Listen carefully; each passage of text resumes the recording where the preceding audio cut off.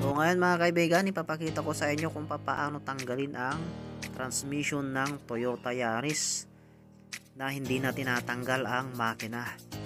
So panoorin nyo mga kaibigan kung paano ang gagawin namin. So ang una natin gagawin mga kaibigan ay tanggalin natin itong battery. Tapos isunod natin itong kanyang base.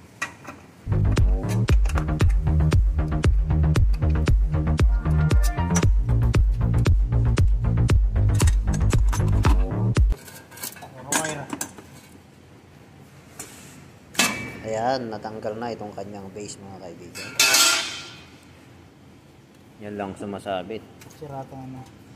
Oo. Eh, may, malakas ang vibration eh. Sira ang kirsi. Yung ano, engine support.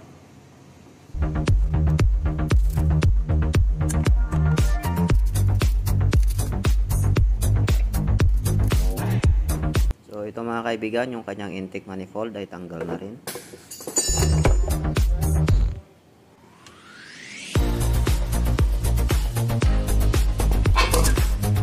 Tatanggalin na rin natin itong kanyang engine support. Ayun.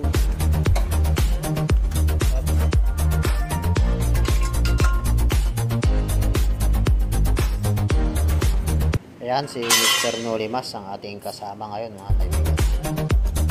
Tapos na natin tanggalin yung mga dapat natin tanggalin sa taas mga kaibigan. So dito naman tayo ngayon sa ilalim dito sa kanyang bell housing.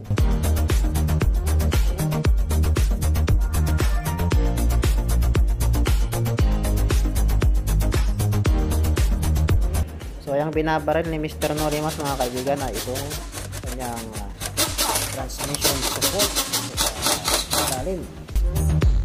Wala na doon sa, taas.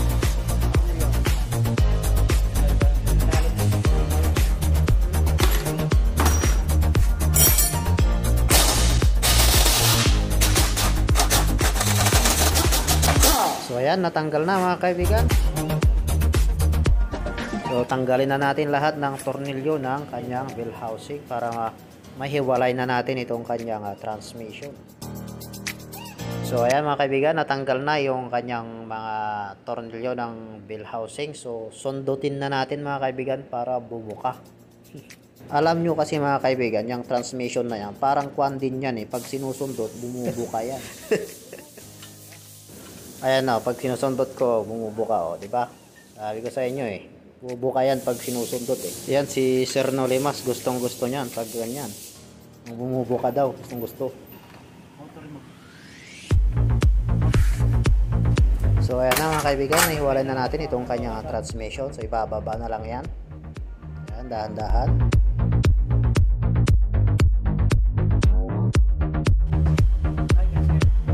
So ayan na mga kaibigan, naibaba na namin itong ah, transmission. So tatanggalin naman natin ngayon itong kanyang flywheel.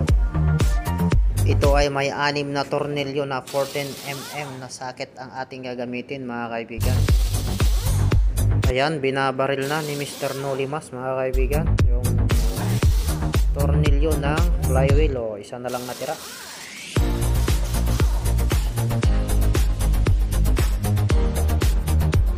Uy, galing sumalo ah. so, ito na mga kaibigan, yung flywheel, yung kinakapitan ng converter mga kaibigan. Yan. Pinapag na ni Mr. Nolimas.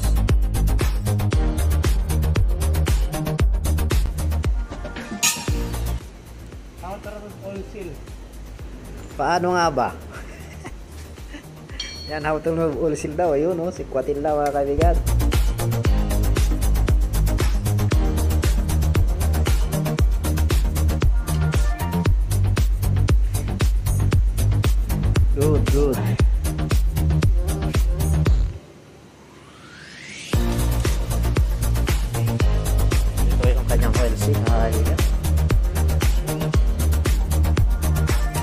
Bago.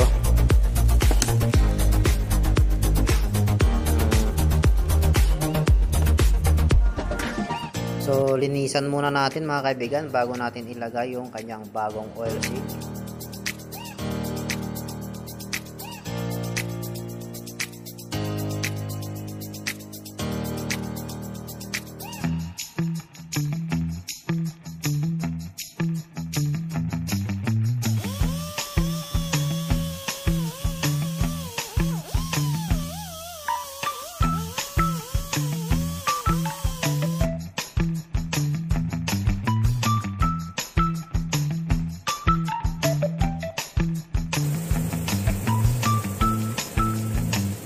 seal. mga kaibigan, tapos na nating linisan. So lalagyan na natin ng grasa itong oil seal at ilalagay na natin. So ilapat lang natin katulad niyan mga kaibigan. So ayusin natin ng pagkalapat ito para hindi tumagas yung langis. Para hindi tayo mabackjab. Tok-tok-tokin natin. Ayan. Tapos kapakapain yung kanyang lapat kung nakasentro ba o hindi. Tapos ay punasan na natin. Kapag ah, maganda na yung lapat. Unahin muna natin yan.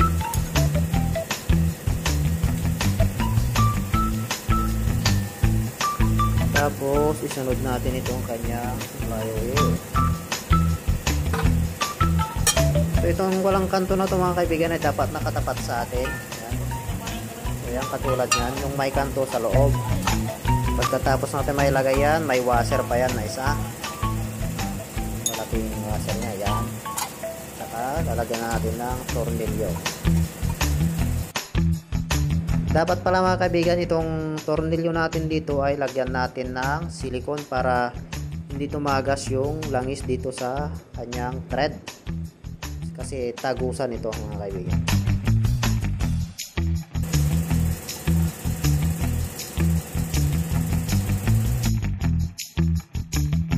So lagyan din natin tong isa na to baka makalimutan.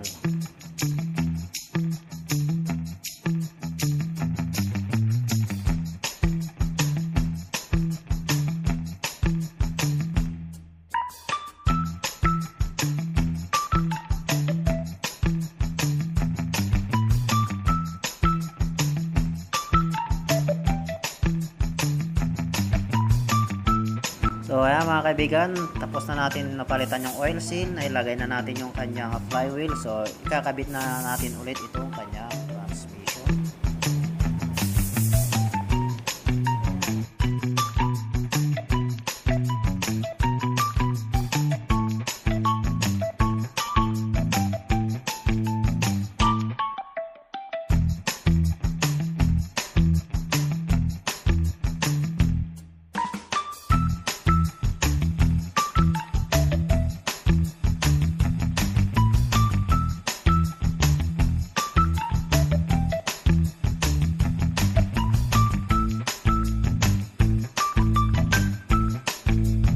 ayan mga kaibigan, nailapat na natin itong transmission. So lalagyan na ni Mr. Nolimas itong bill housing ng tornilyo mga kaibigan.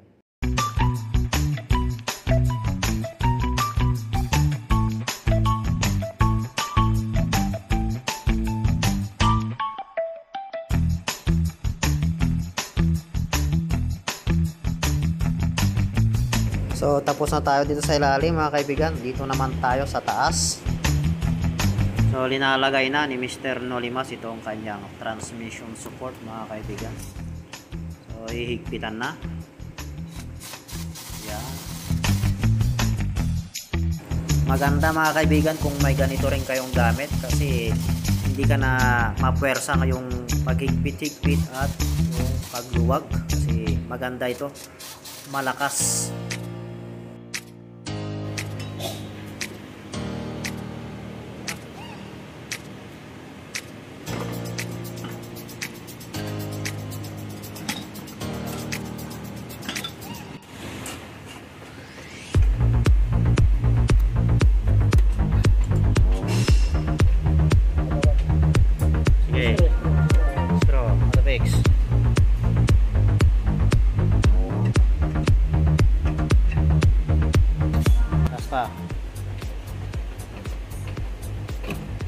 Nadali mo, Chong.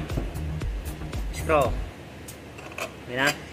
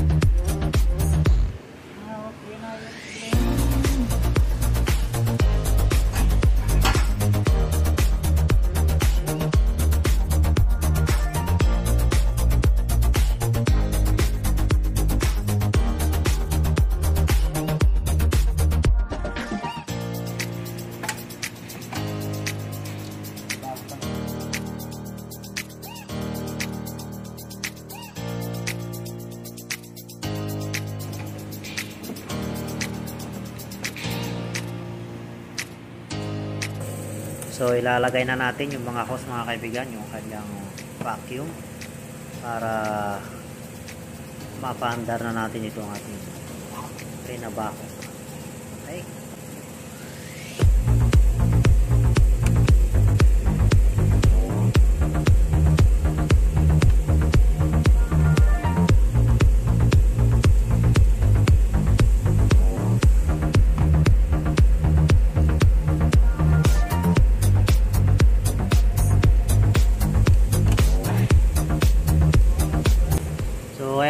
Kaibigan, tapos na natin. So pwede nang i-start. So i-start na Mr. Nolimas.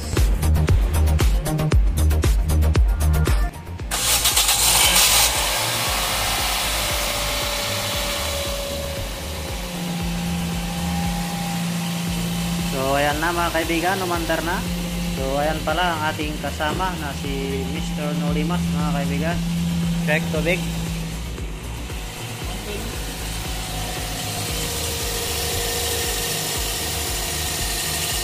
Wala. Wala. natin. Tignan natin sa loob mga kaibigan kung may kick engine o wala.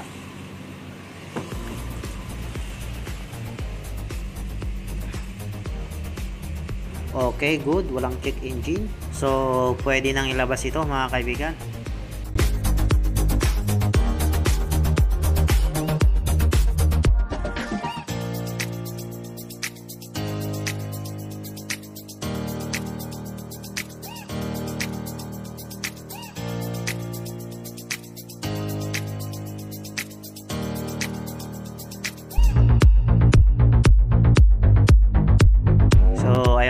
kaibigan, maraming maraming salamat sa panonood. Please like and subscribe.